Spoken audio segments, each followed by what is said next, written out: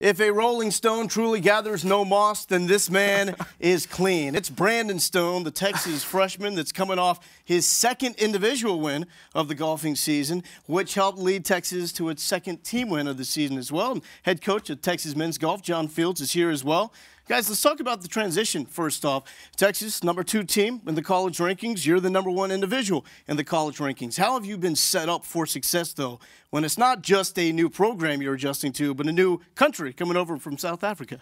Um, I think the people in the team makes it a lot simpler. We have Coach Fields and Coach Murphy who have made the transition very easily for me and very comfortable. I'm, I feel comfortable where I am now and I'm settled and right now life is easy, which is all all thanks to Coach Fields, Coach Murphy, and the rest of the team. I mean, they've been phenomenal. Is life easy for you, Coach? Uh, from time to time it is, uh, especially when uh, we're hitting fairways, greens, and making putts. But um, it's always a lot of fun to be around these young guys, and sometimes it's challenging, but most of the time it's it's a lot of fun. What makes his start so remarkable when you consider the second round he plays for Texas? It's a 63. Well, we knew uh, that Brandon had that kind of potential. He's done that uh, on several occasions back in South Africa and really in Europe uh, and different events. So coming in, we knew he had that kind of potential. Certainly didn't know you were going to do it right off the bat, but we, it was welcome, I can tell you that. Uh, obviously, we're transitioning out of last year into this year, and, and Brandon's made it a lot easier does the coaching staff and the guys that were part of last year's team, how much do they talk about what happened last season with that national championship? Oh, it's it's always a dinner conversation. I mean, it almost gives you like goosebumps when you when they speak. I mean, I can see Cody Gribble when he speaks about it. Almost it brings that smirk onto his face. It's just that knowing that you've got a national championship, and I know coach the way he carries himself like a national champion. I mean, it, to know that you have that and you got that ring, and you got that under your belt is such a a bragging right, you could say, yeah. when you get to tournaments. And it's a head turner. Like I say to coach, when we walk into the driving range, every single team and every single player and coach notices when we walk onto the driving range. It's almost like we have that aura, which is so nice. And to know that you're part of that team is unreal. And to know that that's part of Texas golf is yeah. unreal as well. You're really, in some ways, picking up where Dylan Frittelli left off, sinking that putt to clinch the third national championship for Texas men's golf.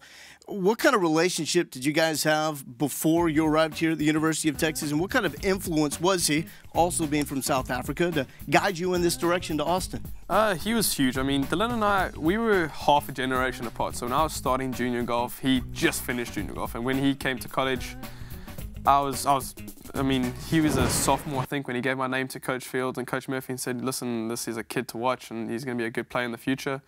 And Coach Fields and Coach Murphy got in touch with me and they said, listen, we're watching. And had a good year, had another good year. And then my senior year in high school, I had phenomenal year. And Coach Fields and Coach Murphy were like, we want you here. We, Texas is a place for you. And Dylan was like, you're not going to get a better place on the planet. But uh, being here now for a good nine months, I couldn't agree more. What is it like coaching Brandon, a guy that had a father that's a pro golfer, that's been playing in some very major venues throughout the, his young life? What is it like to, to coach a guy with that type of experience already? Well, first of all, just to qualify that, we were uh, in touch with him his junior year, following all the NCAA rules. But uh, but anyway, long story short, uh, it's fun to be around a guy like Brandon because he does have a golf vocabulary that's kind of extraordinary for a young man his age. That's simply because his dad is a professional golfer. Um, good golf runs in his family.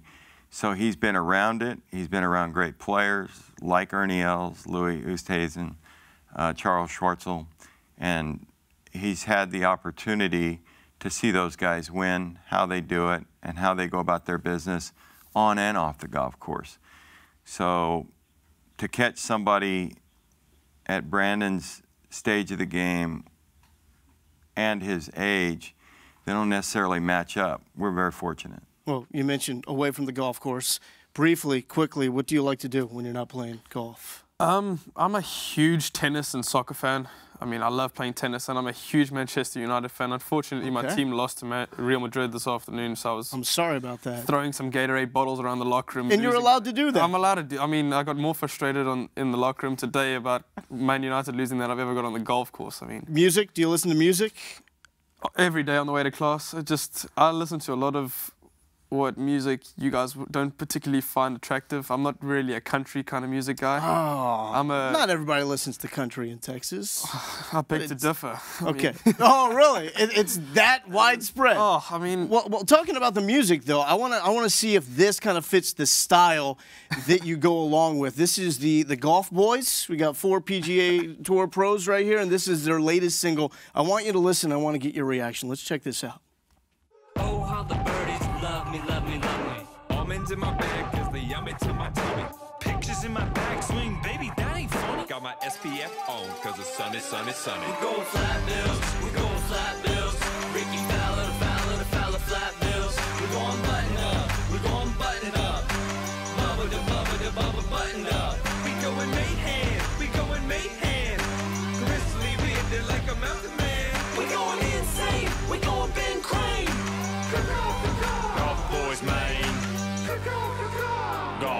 Golf boys, Maine. Coach Fields, the look on your face was priceless It was during that clip. That was shocking. you were trying to figure out what you were looking at. Oh, I know all those guys. I've, I saw them playing college golf, and and uh, they're just having fun. And I think they're they're definitely uh, bringing a different Different. vibe to to professional golf. But you know, the bottom line is those guys can all play serious. So they can golf. back it up. Yes, Can you, absolutely. can you back up a uh, type of career like that as well down the road, where you can play the golf PGA and then do a little rap hip hop as well? I'm not really the singer, although I sing a lot on the golf course, which drives my teammates quite insane because on the car rides to the tournaments, all I'm doing is singing What's your favorite song to sing to really drive them nuts? anything that has an up tempo. I mean, Do you want to sing something no, for us before okay, we my throat's- Ah, coach is he's saying no, no, no more, no more. We're gonna end it right there. John Fields, Brandon Stone, Texas men's golf back in action on Friday as they head out to Las Vegas.